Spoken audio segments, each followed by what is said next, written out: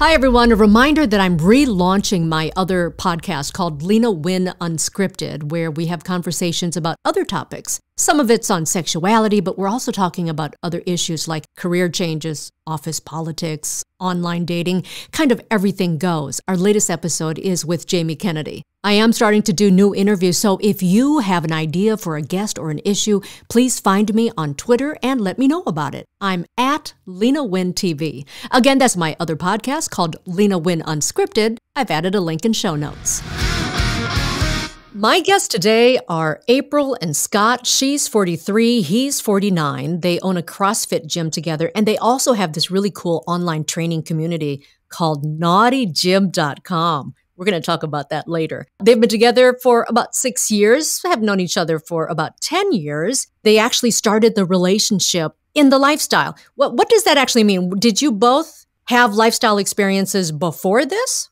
in my previous marriage, we had dabbled our toes in it, but never actually had any experience with other people. We had just been to some uh, salacious events, but never actually really got into the lifestyle. All right. April? Yeah. So in my past life, I was pretty sexually open. I just didn't know what that was called. um, and then I was in a marriage that was basically sexless for um, about 17 years. And so when I met Scott um, and we just started talking openly about sex, he told me about some things that him and his ex wife had done some places. And I was immediately like, let's go, let's do it. Then I don't we don't have to go through the, you know, how did you broach the subject cuz you were both pretty open to it. How do you form a relationship with each other when you started open? Do you know what I'm asking? Yeah, so we were best friends before we even really got romantically involved. He communicates so beautifully that it was so refreshing. I had never been in a relationship with a man that communicated so well. My ex wife would disagree, I think. well, you weren't a fit for her, you're a fit for me. But, um, right. And so it was kind of an easy thing to go into because we openly communicated about our fears, um, any reservations that we had, and there was so much trust there already um, that it was safe. Um, I knew if there was something I was uncomfortable with, it wasn't going to be an issue in our argument or anything like that. It was going to be received lovingly and we would communicate through it. We talked about everything, and there were never, you know, a lot of times when couples don't have the ability to talk about all their sexual desires and fantasies and that sort of thing. And, and that just came very easy for us which made the transition into the lifestyle much easier. What were your fantasies? Ooh. Ooh. uh, I uh, I think I, well I think I can speak for both of us when I say that they've probably evolved. I don't know that we ever had talk of a lot of specific fantasies that we wanted to go after as much as we talked at length about what things we weren't comfortable with. Even when we would have a bad experience, we would just you know, regroup, talk about it afterwards, and go, okay, well, that's probably not for us. And it became so natural and easy for us that our line has continued to evolve and move. And now, where we weren't comfortable with very much at all to begin with, now it's it's a lot, I don't know, freer. Yeah, and it started simple. It started with let's go to this place and just be naked in front of people. Um, and then that was exciting and it gets you kind of sexually charged. And then the next time it was, let's maybe have sex in front of people. And so it has, it's just kind of evolved through time. Okay. Now, do you guys have that thing where you get turned on watching your partner with other people? Yes. Well, I do.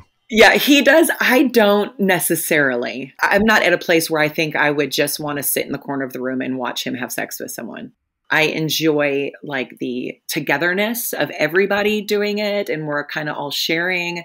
But yeah, I don't want to just watch him have sex with someone without me being involved.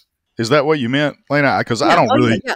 I don't really enjoy that as much either. I could do it, I guess, uh, but no, I like to be involved. But if she's next to me with somebody else and I'm next to her and I'm either with somebody else or involved with her and the other person, it does turn me on to see her with that other person. Yeah, mm-hmm. yeah. Okay if you were to describe your play style right now, what is it?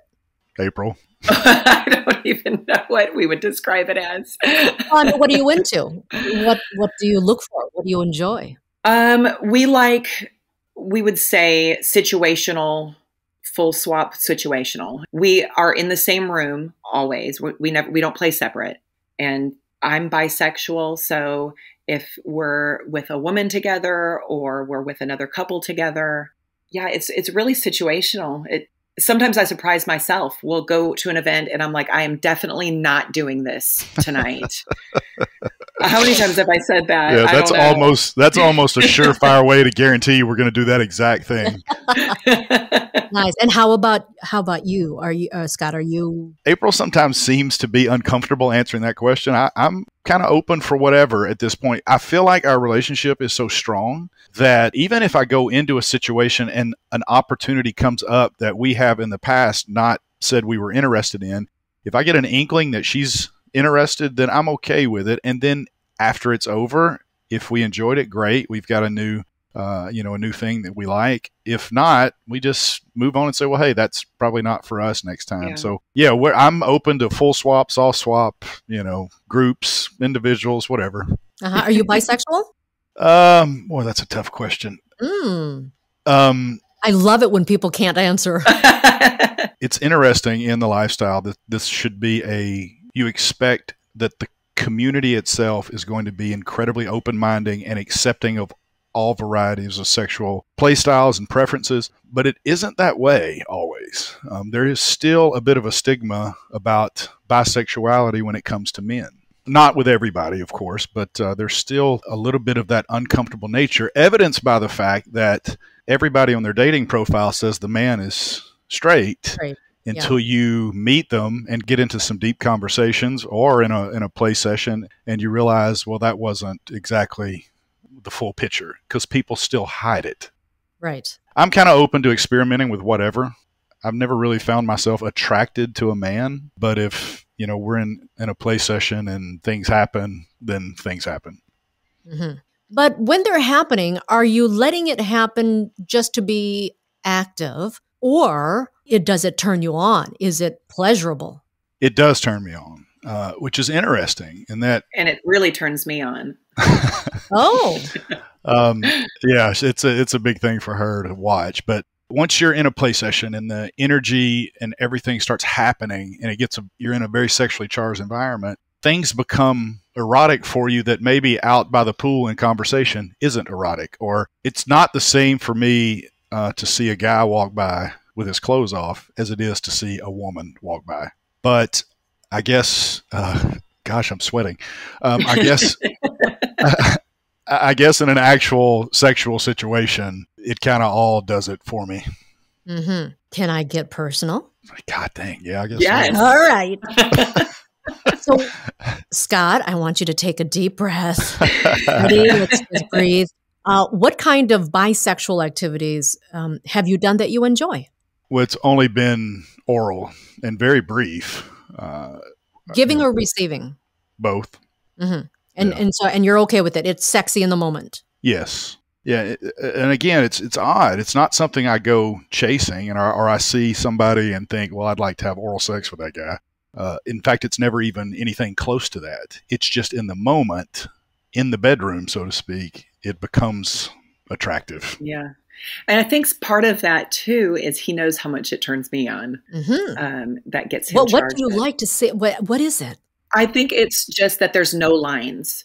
Uh-huh. Um, when you're in a place session like that, and you're so comfortable with the other couple that there's just no walls, and it's just about feeling good and pleasure. There's no shame or guilt, or you're just free. Um, right. And I that to me is sexy. Okay, but that's different different than watching him say go down on another woman.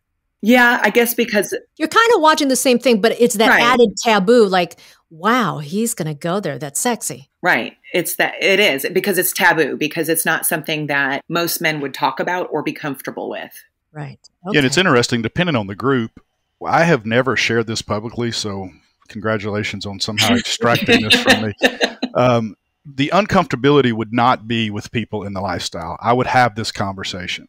Um, the uncomfortability is we live in small town Alabama, and uh, you know, on the ranking of things that would get you banished from your uh, community, that's going to be right there with being atheist.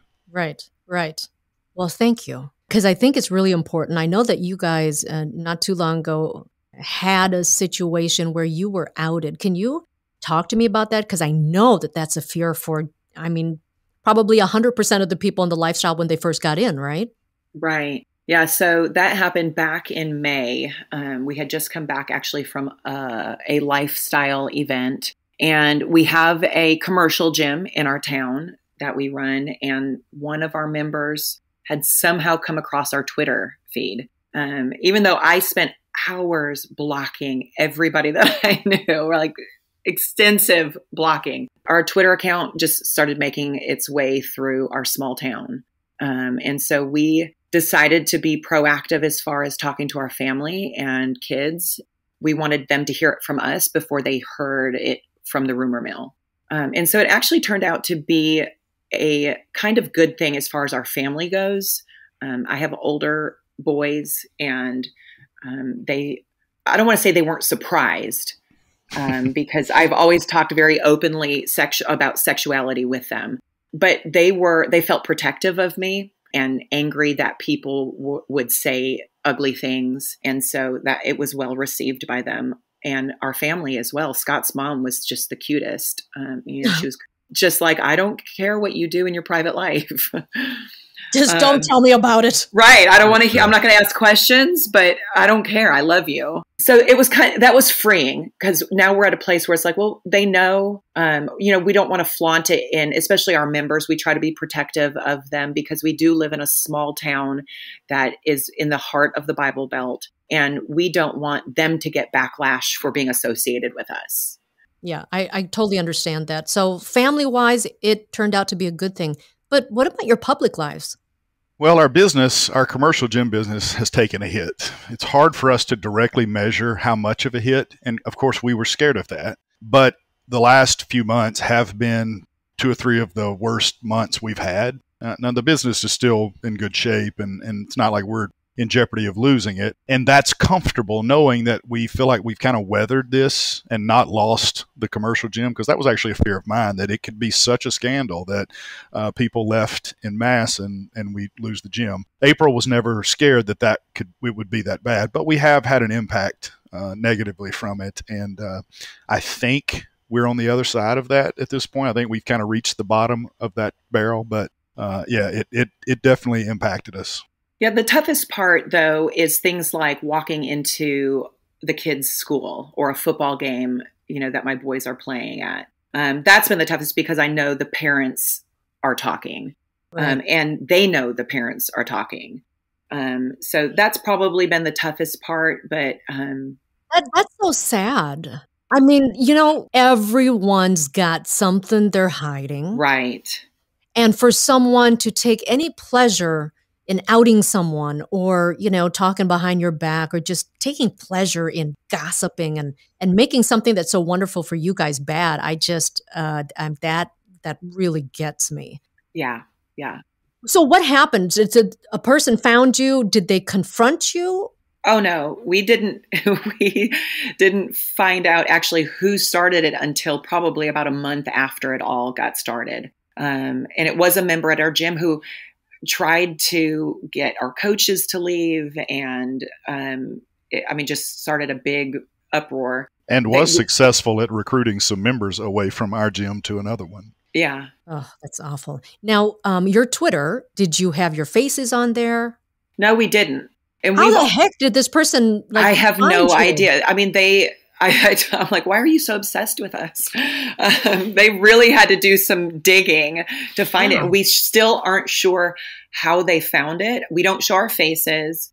And really, anything you find on our Twitter is not pornographic. When we first started, I said, you know, I'm not going to show nudity on our public profiles just because I, in case something like this happens. So it's nothing you're not going to see on like the cover of Maxim or mm. you know a fitness magazine something like that. The content might be a, a, little bit different but i'm not ashamed of any of the pictures or anything like that that we've posted on there. So i'm like good i hope they continue to watch it because so whoever it is is really familiar with your abs. Right. Right like he could recognize that bicep anywhere. Yeah. Well, and you know, it's stuff like because they don't understand what the lifestyle is. We've had a member leave because his wife was afraid I was going to try to sleep with him. And I'm like, look, you've been here for four years. Oh, boy. Don't flatter yourself. like, uh. I'm, I'm not going after your husbands. and raised in this town, I, you know, I've lived in this city my entire life. I understand where they're coming from because right. I used to be incredibly conservative, right wing Republican, super conservative religiously, and all that comes with that. And had this kind of thing happened to somebody else when I was that person, I would have had, unfortunately, the exact same responses that the people around us have had. So I get it. I don't like it. And I hate that I used to be that way. Mm-hmm. Uh, but um, that's why it was such a big fear for us to get outed and such a huge relief to know that the world didn't stop spinning once we did. Right. That's awesome. Um, let's talk about this naughtygym.com thing. Is that something that you started later or when did that come about? That came about during COVID. We had to shut down our commercial gym for about two and a half months. And during that time, we moved all of our members to online training. Um, we had two gyms at that time. Scott had one and I had one. And when we shut down for COVID, we were then stuck in the house for 24 7 with each other. And we absolutely loved it. We love working together and we work so well together. Um, and so when they told us we could reopen, um, Scott kind of had a crisis and uh, went to the bathtub, which is his thinking place. he takes very long baths. oh.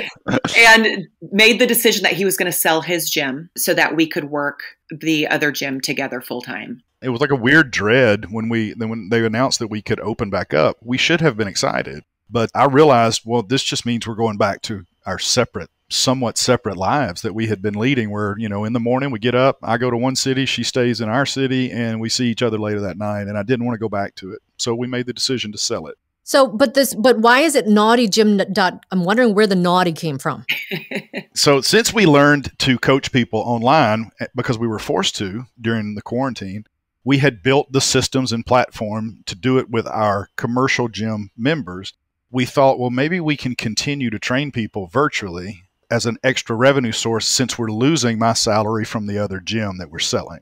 But everybody's trying that. Everybody wants to coach and train online. It's just hard to find a niche or to distinguish yourself unless you're a big name personality, and we aren't. So uh, we started thinking about well, how can we create our own niche? And one of the problems we'd always had with having two gyms is that we were so busy, we never got to do anything in the lifestyle. We say we've been kind of dabbling in the lifestyle for six years, but that meant maybe once a year, maybe twice a year, we got to go to a party or, or a, some sort of hotel takeover or something. So not very frequently. Then the idea came up that, well, if we're going to train people remotely, could we target the sex positive community? Because one, they should want to look and feel their best and be as healthy as possible to be able to enjoy that type of lifestyle. Uh, two, they tend to skew a little older in that they're not a bunch of teenagers and 20 year olds. They're people with that have jobs. Usually they have a little more discretionary income than most because to participate in the lifestyle usually means a lot of travel.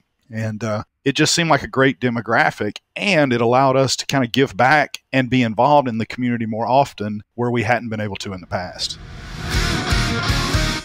My conversation with Scott and April continues with more on their naughty gym and keeping fit and sexy as you age. That content is coming soon for our members. Check out buymeacoffee.com slash Leyna Nguyen for more info. And you can find them at naughtygym.com.